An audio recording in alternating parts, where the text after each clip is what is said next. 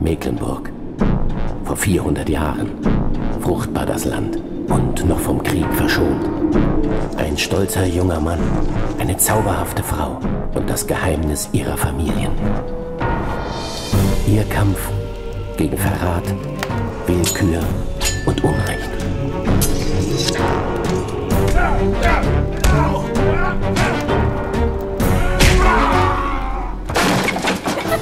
Die Müritz-Saga. Abenteuerliche Geschichten voller Spannung und Humor auf der Freilichtbühne Waren Müritz.